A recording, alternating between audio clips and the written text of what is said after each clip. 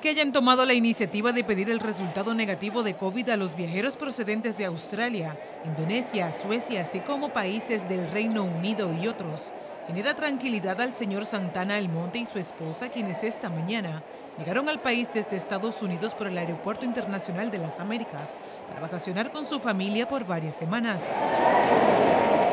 Aunque no fueron seleccionados para hacerse la prueba de aliento que realizan en esa terminal aérea al azar para detectar posibles contagios entre viajeros de ese país y Europa, Almonte aplaudió las medidas sanitarias que aplican en ese aeropuerto.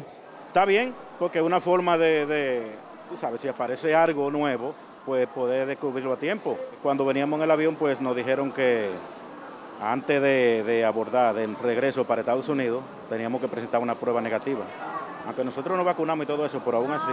Muy buena porque protege a, la persona aquí y eso es un alma silenciosa. Otros que celebraron la disposición fueron personas que este día retornaban a sus casas o salían de vacaciones fuera del país.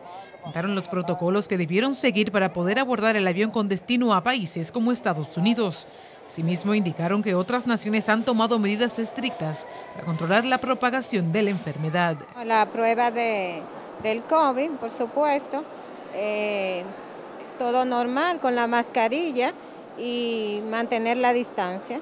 Una prueba negativa y el pasaporte, eso es todo lo que necesito. Yo después que viaje a Estados Unidos de aquí, voy a España dentro de una semana y no solamente requieren la prueba negativa para, salir, para regresar a Estados Unidos, no para llegar, pero sí requieren la prueba de que estoy vacunada. Tener en cuenta que el uso de mascarilla es obligatorio. Además de la prueba de aliento aleatoria en este aeropuerto, es obligatorio usar correctamente la mascarilla y tomarse la temperatura. De acuerdo con datos del Banco Central, hasta mayo de este año al país han llegado por la vía aérea 2.599 viajeros procedentes de Inglaterra, unos 284 desde Irlanda, de Escocia 14, de Australia 274 y de Suecia unos 277 pasajeros. Estos, junto a otras 13 naciones, conforman la lista de los que deben presentar resultados negativos al virus para visitar el país. Los 18 países cuyos residentes deben presentar una prueba negativa antes de ingresar a territorio dominicano no tienen vuelos directos con esta terminal aérea. Jaycee Capellán, Noticias.